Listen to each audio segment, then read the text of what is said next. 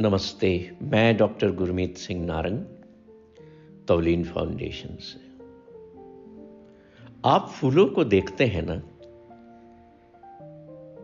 खुशबू देते हैं, सुंदरता के साथ खिलते हैं। फिर कुछ दिनों में बिखर कर गिर जाते हैं। और अपना एक अद्भुत काम जो खुशबू देना है संसार को, खूबसूरती देना है संसार को, ये करके वे संसार से बड़े ही ग्रेसफुली तरीके से चले जाते हैं। ठीक उस फूल की तरह हमें भी इस दुनिया में सुंदरता और खुशबू को फैलाना है।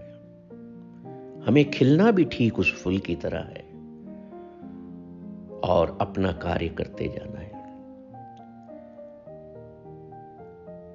और जब हमारे जीवन का बिखराव आने लगे तो हमें भी ठीक उस फूल की तरह ही ग्रेसफुली यहाँ से जाना है।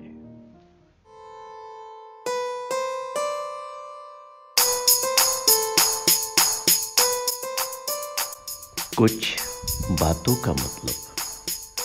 कुछ मतलब की बातें। क्या मतलब?